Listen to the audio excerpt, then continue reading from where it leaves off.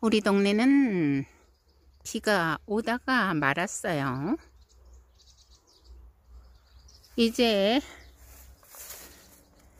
우리 동네도 장마가 장마철이 되겠죠.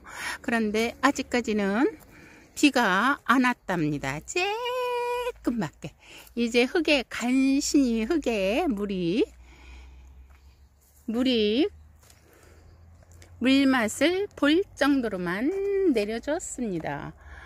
조금 더 어, 비가 내려야지 여기는 되는데 아직 조금밖에 안 내려가지고 그래도 비바람이 쳤는지 이렇게 나무들은 쓰러졌고 꽃나무들은 쓰러졌고 그랬습니다.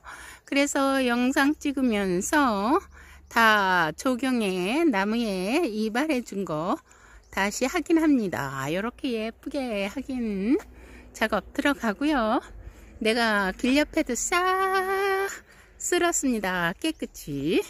그래서 인증서 타면서 구독, 좋아요 눌러주세요. 여기 다 이렇게 다 조경을 샥 했습니다. 엄청 예뻐요. 사진에는 별로 안 예쁘게 보일지 모르지만 내가 핸드폰 들고 이렇게 찍는 이 순간만은 엄청도 예쁘답니다. 이렇게 샥, 샥, 샥, 샥, 샥 조경을 해줘가지고 여기도 엄청 예쁘죠? 여기가 사시, 사계절 추나추동 예쁘게 꽃피는 장소랍니다. 예쁘죠? 여기도 딱싹 조경을 해줬습니다. 여기도 딱싹 조경을 해줬습니다.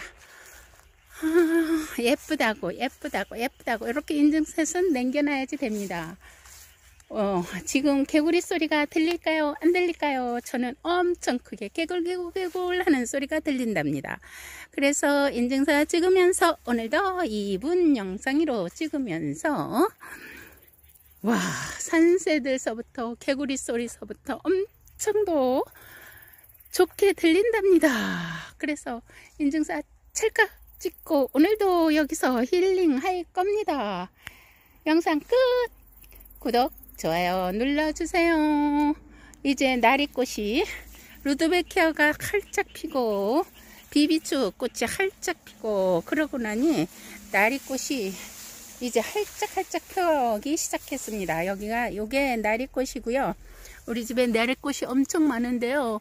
요게 나리꽃이랍니다. 나비가 멍 날라다닙니다.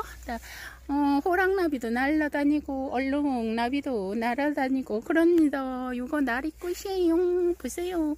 뒷모습 나리의 뒷모습 예쁘죠? 찰칵 3분 영상이었습니다. 구독, 좋아요 눌러주세요.